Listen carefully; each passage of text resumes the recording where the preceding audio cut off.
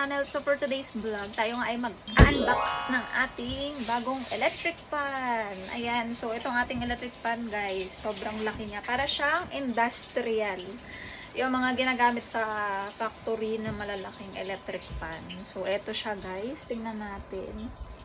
Ayan, ang kanyang brand ay Makita or Makita. Itong kanyang brand. Ayan, at buksan na natin guys. So, kaka-deliver lang niya. Kakarating lang niya kanina. So, titingnan natin, i-unbox natin kung malakas ba talaga tong electric fan na to. Open na natin guys. Ayan. Ayan. So, ganito siya. So, hindi, hindi siya naka-sealed.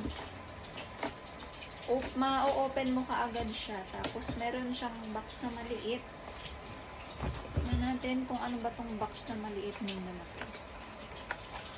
Open natin guys. So, ano ba siya? Ano ba tong box na to? Ah, siguro ito yung ano niya. Pang charge niya. Ay, oo, charger. Ang kanyang charger. Ito siya guys. So, ah, 100 to 40 volts. Nakikita ba? 100 to 240 volts. Ayan. Hindi 220 pala. Mali ako. I'm sorry.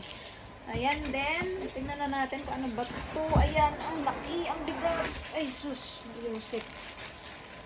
Ayan. Ganito siya kalaki, guys. Ganyan siya kalaki. At saka sa loob niya, merong instruction. May manual dito sa loob. Ayan. Makita, itong kanyang uh, model, Makita CF301B. So, ito ang kanyang bra, uh, ang kanyang model. So, yung mga instruction dito sa loob, pero naka-Japanese, walang English. Ang maganda lang dito, guys, pwede mo siyang bilhan ng battery.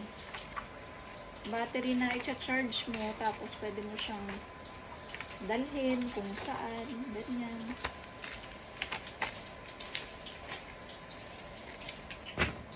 So, tanggalin na nga natin.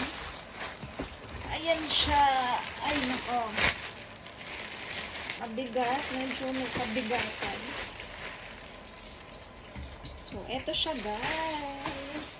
Ayan. So, dito, sa likod, may kita nyo naman na pwede nyo siyang kabitan ng kanyang battery. So, napakadali niya lang gamitin, guys. Ayan, pwede mong itaas, ibaba. Dito yung pinakasaksakan, guys. Ayan.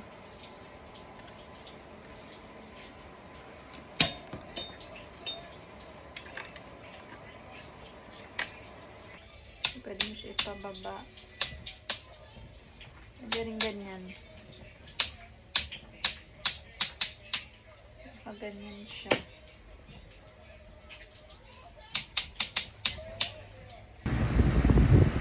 ito yung kanyang switch. And steady muna natin. Ito yung kanyang power kung gaano kalakas. Number 1 yan siya, number 2 and number 3 ito naman yung timer. Kung 1 hour 2 hours or maximum ang 4 hours. Na nakabukas pwede rin natin i-turn off at ito ang kanyang pag-ikot